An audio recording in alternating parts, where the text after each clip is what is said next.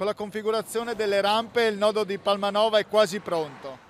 Direi di sì, adesso siamo nella configurazione finale.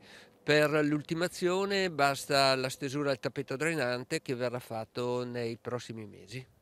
Ecco, ripetiamo che questa stesura deve essere fatta assolutamente nel periodo primaverile con l'innalzamento delle temperature.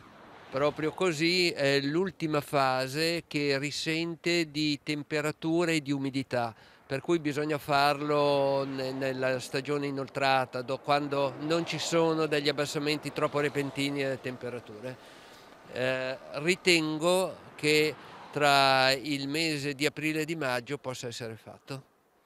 Ecco, andiamo nel secondo lotto, primo sublotto del secondo lotto, parliamo del tratto Porto Ruguraro Alvisopoli dove è stato innalzato, varato il terzo cavalcavia, Teglio Gorgo, eh, su 5 che ce ne sono. Sì, notate è stato posizionato il terzo cavalcavia di quell'otto e in questo momento l'autostrada è stata aperta nei tempi regolamentari. Ecco, questo è un sublotto particolare.